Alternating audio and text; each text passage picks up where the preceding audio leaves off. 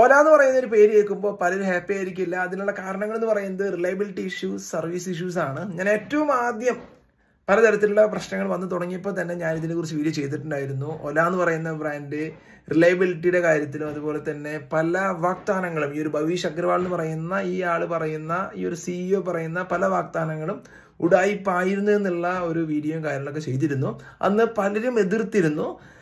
എനിക്കിപ്പോൾ പറയാനായിട്ടുള്ളത് സെയിം കാര്യം തന്നെയാണ് ഇപ്പോഴും ലൈബിലിറ്റി ഇഷ്യൂസ് ഉണ്ട്. സർവീസ് ഇഷ്യൂവിന്റെ കാര്യമൊന്നും പറയണ്ട. ഷോറൂമിലൊക്കെ വണ്ടികൾ കെട്ടിക്കെടുക്കുകയാണ്.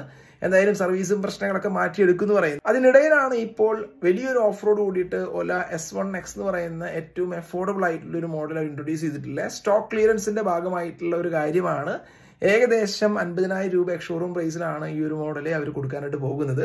മുൻപ് എഴുപതിനായിരം രൂപ ഷോറൂം പ്രൈസ് ഉണ്ടായിരുന്ന ഒരു മോഡലാണ് എന്തായാലും എനിക്ക് ഏറ്റവും ഇഷ്ടമില്ലാത്ത ഒരു കാര്യം എന്ന് പറയുന്നത് അവരുടെ ഒരു മാർക്കറ്റിംഗ് തന്ത്രമാണ്.